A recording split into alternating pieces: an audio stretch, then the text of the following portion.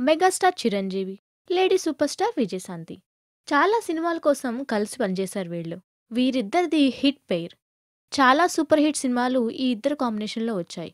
అయితే 'gang leader' cinema తర్వాత ఇద్దరి మధ్య విభేదాలు తలెత్తాయంట. ఆ సంగతి పక్కన పెడితే రాజకీయ రంగంలో ఇద్దరు ఒకరికొకరు ప్రత్యర్థులుగా తయారయ్యారు.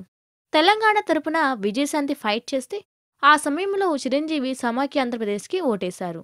ప్రజారాజ్యం పార్టీ అధినేతగా ఆ సమయంలో చిరంజీవి మీద విజయశాంతి నానా రకాల విమర్శలు చేసిన విషయం తెలిసిందే. అప్పటి ఆ విషయాల్ని చిరంజీవి ఇప్పుడు సరదాగా 'Sarileru Neekevvaru' cinema pre release ఈవెంట్‌లో ప్రస్తావించడం అందర్నీ ఆశ్చర్యపరిచింది. రాజకీయం శత్రువుల్ని పెంచుతుంది.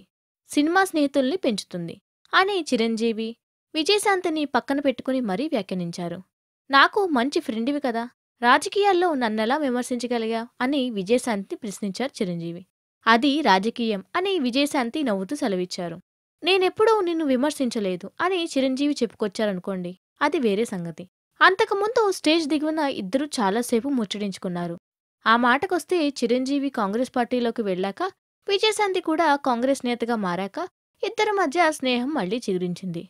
జస్ట్ ఓ ఫన్ క్రియేట్ చేయడం కోసం చిరంజీవి, విజయశాంతి పక్కనే ఉండగా రాజకీయాల గురించి సరదాగా వ్యాఖ్యానించారు. మరోపక్క ఇద్దరం కలిసి మళ్ళీ సినిమా చేద్దామా అని చిరంజీవి అడిగితే 'వై నాట్' అని విజయశాంతి బదులివ్వడం గమనార్హం. విజయశాంతి, చిరంజీవి మళ్ళీ కలిసి నడిస్తే ఆ కిక్కే వేరప్ప అంటున్నారు అభిమానులు. మరిన్ని అప్డేట్స్ కోసం చూస్తూనే ఉండండి రాష్ట్రీయ తెలుగు మరియు సబ్స్క్రైబ్ చేయండి.